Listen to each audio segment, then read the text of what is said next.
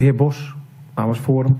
Ja, dank u wel, voorzitter. Ehm, ik dacht eerst dat het komt bij elektriciteit aan de orde, maar we hebben het al gezegd uh, over die aardwarmte. Uh, daar toch even opge opgemerkt over de aardbevingsgevoeligheid. He, nu wordt er best wel wat over de, de bevingen in, uh, in Groningen. Uh, die hebben toch tot grote problemen geleid. Weten wij wel wat de effecten zijn van, van aardwarmte?